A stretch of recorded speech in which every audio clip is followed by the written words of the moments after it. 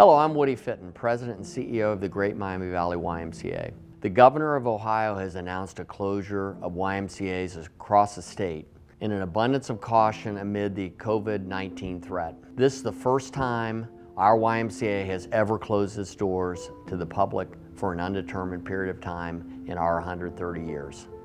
Which begs the question, so what now? Historically, the Y has always risen to meet the needs of our community in times of crisis be that the flood of 1913, two world wars, or times of economic depression and recession. Locally and nationally, the Y has been strategically brainstorming what service the Y may be to the community at this pivotal point in time. We recognize that stress reduction is paramount in times of uncertainty, and we have rolled out online virtual exercise classes which can be located on our website at gmvymca.org.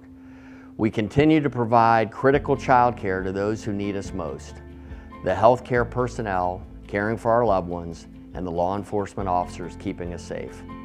Knowing that more than 25% of our Y family are over the age of 65 years, we want to assure you that should you run out of food or medicine, reach out to us at either GMV YMCA help at gmvymca.org or by phone at 1-513-217-5501.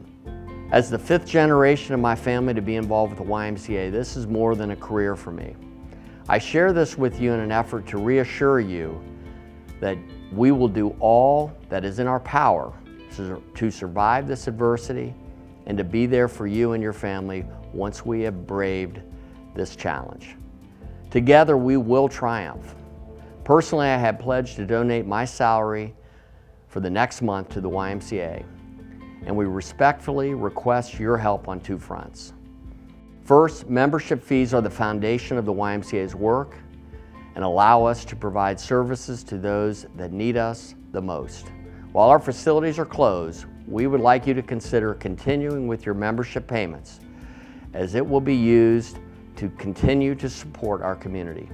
Any membership fees drafted during this closure will be considered as tax-deductible gifts to the YMCA.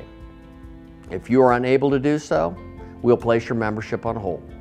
Please contact GMV YMCA help at gmvymca.org to place your membership on hold.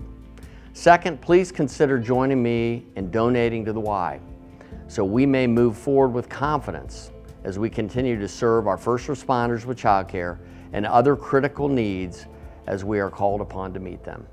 Visit our website at gmvymca.org to donate. In 1914, my great-grandfather, then volunteer board chair of the YMCA, shared the following after the flood of 1913. Our wish is for current and future generations to recognize that our local YMCA history has not been one of ease, but a repeating cycle of challenge, unity, hope, adversity, and triumph.